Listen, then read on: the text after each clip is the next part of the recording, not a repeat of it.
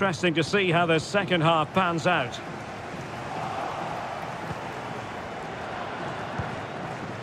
Bernardo Silva. Werner with it now. Oh, beating his opponent with ease.